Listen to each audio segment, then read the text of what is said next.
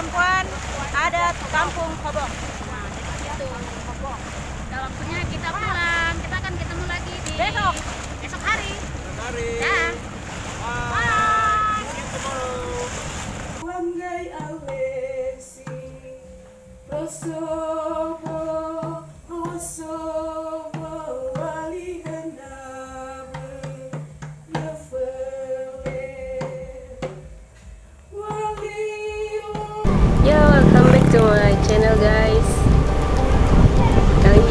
Sapu Channel eh, Saya mau sharing apa perjalanan ke Kampung Kobong.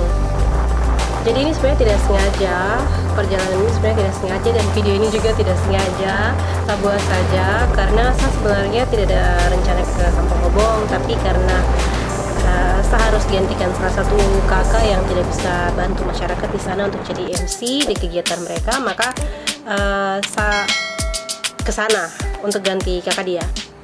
Jadi untuk ke kampung Hobong nih tong lewat hmm, kampung Ipale. Eh kampung Ipar besar ya. Jadi pertama-tama tong dari rumah keluar terus tong ke arah-arah bandara lewat lagi terus lewat belakang bandara terus kita tujuannya tuh ke jembatan kuning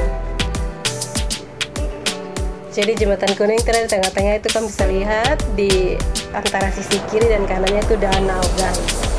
Danau Sentani. Jadi kita akan ke Jeku. Jeku jembatan kuning. Dari situ baru akan menyeberang ke Kampung Hobong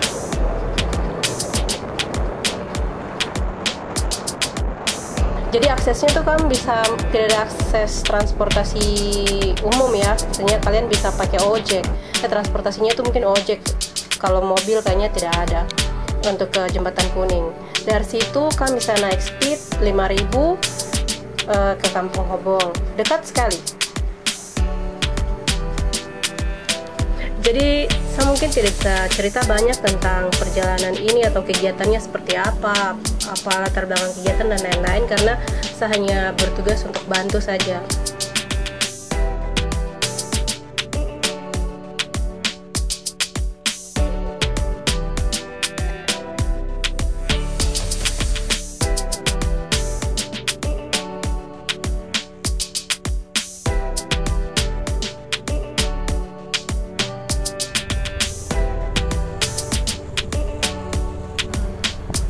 Oke, jadi jembatan kuning nih ini salah satu maskot juga kayak kayak satu tempat biasa orang foto-foto juga di sini.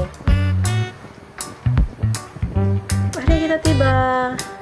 Sekali lagi ajak kamu semua jangan lupa like, share, komen dan subscribe dan dukung channel ini supaya saya terus uh, membuat konten-konten baik buat kamu semua macam yang satu ini nih.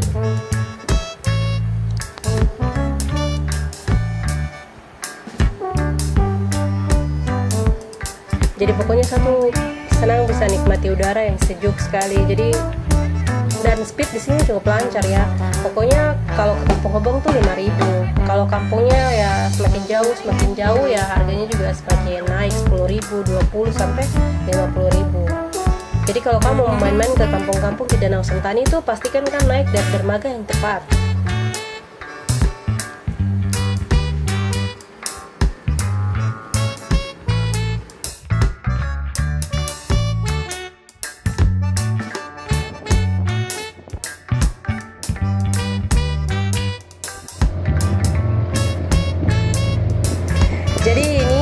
dermaga untuk yang tamu nanti stopnya di sini di Kampung Hobong nih, dia dermaga yang itu.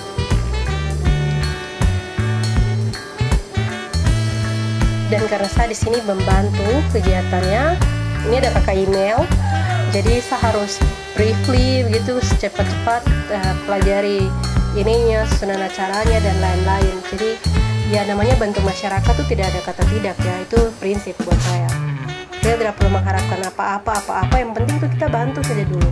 Karena solidaritas kebersamaan kita apalagi masyarakat adat itu penting sekali untuk kita support.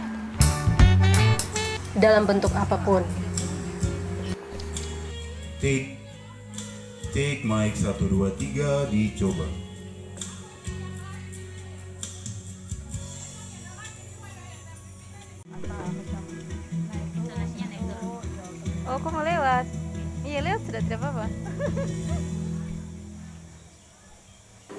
Dan eh, yang menarik buat saya tuh tenda-tenda ini tidak disewa, tapi tenda-tenda ini aset kampung. Jadi bumdes kampung Hobong, jadi mereka punya aset. Saya kira itu bagus, menarik sekali.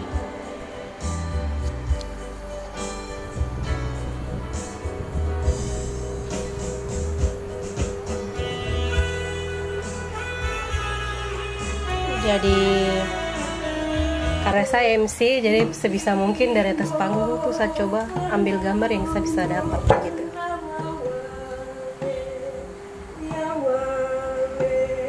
Jadi ini eh, tim tari dorang antar pendeta. Jadi ini ibadah syukur. Ibadah syukur eh, HUT kelima komunitas perempuan adat Kampung Hobong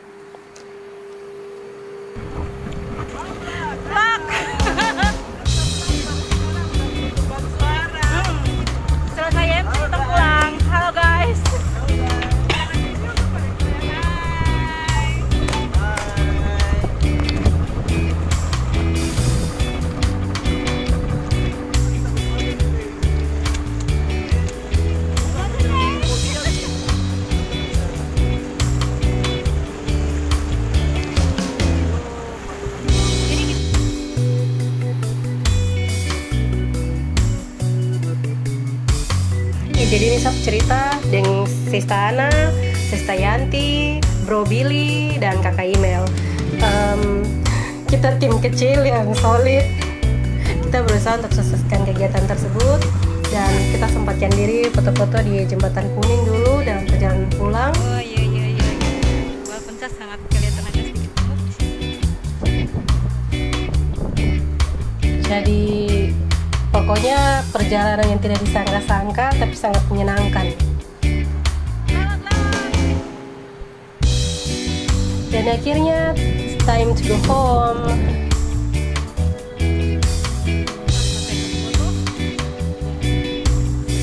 Sekali lagi jangan lupa like, share, comment, dan subscribe.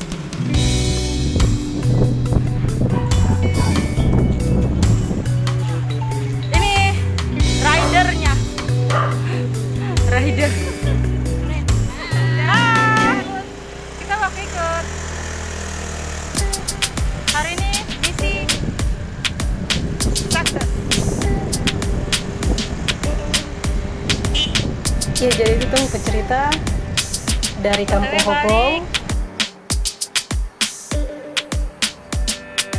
Jangan lupa like, share, comment, dan subscribe. Thanks for watching. Uh, I hope you enjoy this video and see you on next video. Bye bye.